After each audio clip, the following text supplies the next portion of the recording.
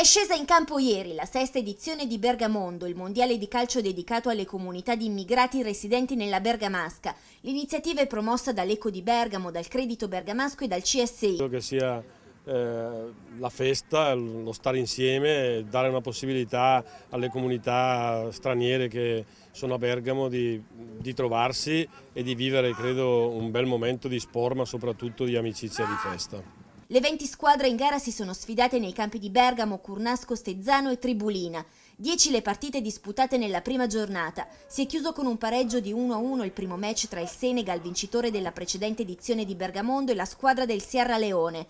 La Nigeria si è aggiudicata la partita contro il Ghana con un risultato di 1-0. Vincitrice anche la squadra del Marocco che in campo contro la Costa d'Avorio ha chiuso la partita con un 3-1.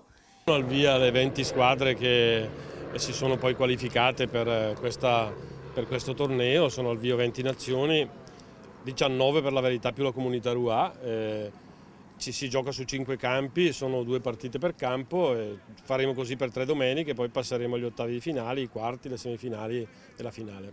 Bergamondo conferma anche quest'anno il suo forte valore aggregativo tra le comunità di immigrati Uh, Bergamondo è un terreno importante che fa trovare nuovi amici, nuove gente, l'integrazione. Li trovo benissimo perché mi diverto, mi diverto anche incontro nuovi amici. Una maniera di, di stare assieme, di, diciamo, di compartire tante culture, di divertirci.